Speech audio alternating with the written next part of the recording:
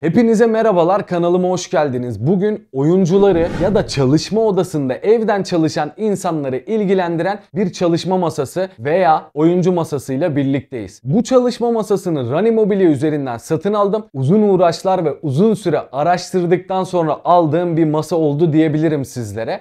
Öncelikle bu masaya nerede denk geldim? YouTube'da çalışma masaları arıyordum. Yani sizler gibi muhtemelen bu videoyu izliyorsanız çalışma masası ne alsam ne alsam diye bakarken Rani Mobilya'nın YouTube sayfasına denk geldim.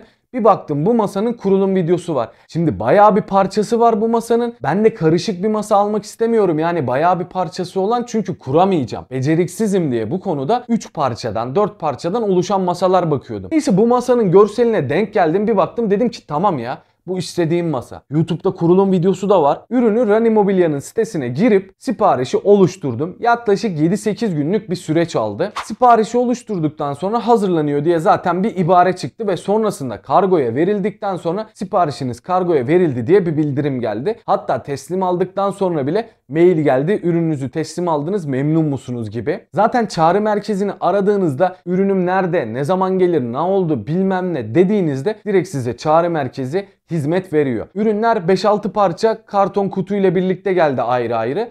Ürünleri kargo firması yukarı çıkartmadı. Apartmanın giriş kapısına bıraktı. Ben de 6 kat yukarı kendi başıma çıkarttım. Problem yok çıkartırım. Zaten çok çok ağır bir parça yok. Bir tek masanın tablası biraz ağır. O da uzun olduğu için. Ama gene de ben tek başıma çıkartabildim. Herhangi bir problem çıkmadı. Gayet güzel paketlenmişti ve sorunsuz bir şekilde zaten buralarda da videoları görüyor olacaksınız. O süreçlerin hepsini çekmeye çalıştım ufak da olsa. Kutuları açtıktan sonra parçaların hepsini bir yere ayırdım. Önce kurulum şemasına baktık. Sonrasında YouTube videosunu bir kere izledik. Hem YouTube videosuyla hem kurulum şemasıyla birlikte yaklaşık 23-27 dakika aralığında iki kişi bu ürünü kurduk. Biz biraz beceriksiz olduğumuz için belki yavaş kurmuş olabiliriz. Kurulum çok basit aslında. Birkaç yere vida atıyorsunuz, birkaç yere mil atıyorsunuz. Ben mil ne olduğunu bile bilmiyordum. Video sayesinde öğrendim. Neyse kurulumlara başladık. Ufak ufak kurmaya başladık. Dediğim gibi yaklaşık 25-26 dakika içerisinde kurduk. Ben genelde home office çalışıyorum. Hem de böyle işte YouTube'a videolar, içerikler ürettiğimiz için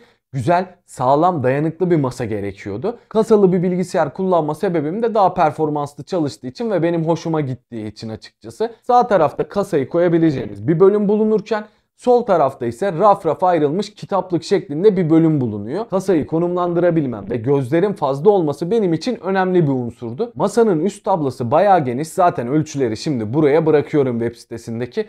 Buradan bakarak siz de satın almak isterseniz açıklamadaki linkten gidip satın alabilirsiniz. Şunu da söylemek istiyorum açık konuşayım. Masayı alırken acaba geldiğinde sallanır mı böyle zangır zangır titrer mi diye bir tereddütüm vardı ama herhangi bir titreme vesaire olmadı. Onu söyleyebilirim sizlere. Şimdi kamerayı elime alıyorum ve masayı sizlere detaylı bir şekilde göstermeye başlıyorum. Şimdi kamerayı elime aldım ve masayı yakından göstermeye çalışacağım sizlere. Şu aşağıdaki kablo karışıklığından dolayı özür dilerim. Onları yavaş yavaş yapacağım. Öncelikle malzeme kalitesine baktığımızda gayet güzel bir malzeme yapısı var. Şöyle masayı sallamaya çalışıyorum. Bakın üstündekilere de bakabilirsiniz. Gram sallanmıyor. Bayağı güç uyguluyorum. Hatta monitörden de görebilirsiniz. Bak sallıyorum masa sallanmıyor.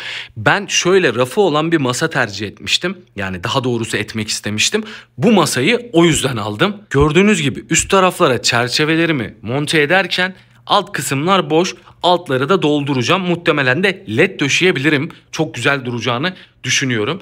Şurada böyle 3 tane raf var. Bakın daha yeni kurduğum için temizliğini bile yapmadım. Hemen videoya çekmek istedim. Şimdi bunları temizleyeceğim.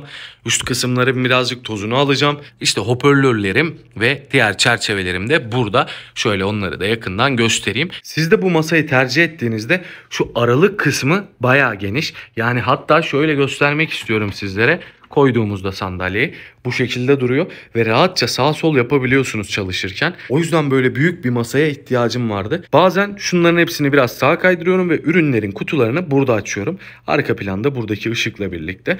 O yüzden büyük bir masaya ihtiyacım vardı. İleride çünkü 3 monitöre çıkacağım. Bir tane buraya monitör alacağım, bir tane oraya. O yüzden geniş olması gayet önemliydi. Ve gördüğünüz gibi bu şekilde bir çalışma masası elde etmiş oldum. Masanın sizlere detaylı bütün her yerini göstermeye çalıştım. Kablo karmaşasından dolayı kusura bakmayın. Daha yeni kurulumunu yaptım ve yeni düzenlemeye başladığım için buraları Zamanla düzelteceğim onları da kablo kapamalar, kablo tutacakları da alıp hepsini halledeceğim. Biliyorum göze birazcık kötü gelse de yapabileceğim bir şey yok. Yeni yeni düzen oluşturup yeni yeni kuruluma başlıyorum. Şunu gönül rahatlığıyla söyleyebilirim. Gerçekten hem evinizden çalışıyorsanız veya evinizde bu tarz bir iş yapıyorsanız ya da büyük bir masaya ihtiyacınız var başka tarzda işler yapıyorsanız bu masayı önerebilirim sizlere. Antrasit rengiyle ceviz yani ahşap renginin karışımı gerçekten güzel oldu. Bu tarz ürünlere ihtiyacı olanlar da en azından detaylıca ürünleri görmüş, bir kullanıcı tarafından videosunu görüp detaylıca bakmış olacaklardır. Ben de öyle yapıyorum keza sizler gibi. Videomuz bu kadardı. Açıklamaya link bırakıyorum. Oradan satın alım işlemini yapabilirsiniz veya inceleyebilirsiniz. Görüşmek üzere. Yorumlarınızı bekliyorum.